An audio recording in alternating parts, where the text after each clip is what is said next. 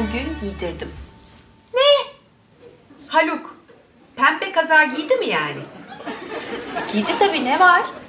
Aa yok. Ne olursa olsun ben onun kafasındaki o tabuyu yıkacağım. O ön yargılardan kurtaracağım onu.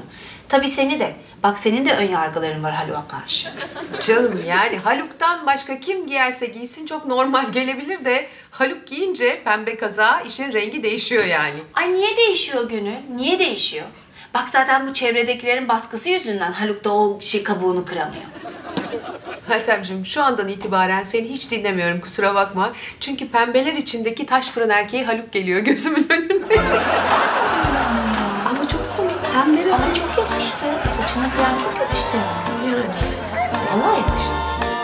Senin gibi yetenekli bu uşak nasıl oluyor da müzikten zayıf alıyor ben anlamayırım. Niye anlamıyorsun? Hoca bana taktı diyorum. Ya nasıl ya olur mu öyle şey? Neyse boş ver onu sen.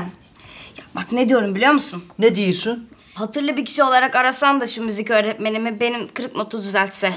Benim ne hatırım vardı ki uşağım? Hatırlı bir kişi olarak dedim. Sen sen olarak aramayacaksın ki.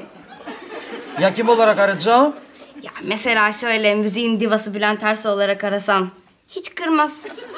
Ee, la seni çakal seni. Hem yeteneklisin hem de akıllısın ha. Hala inanamıyorum. Nasıl ikna ettin Haluk'u pembe kazak giymeye? Çok basit. Söz verdirdim. Biliyorsun söz verdi mi tutar. Ama sadece bir gün giyecek. Aa, onu görebilmek için tek şansımız onun ofisine gitmek o zaman. Yok yok yatana kadar çıkarmayacak söz verdi. Onu bir saniye görsem bile yeter bana.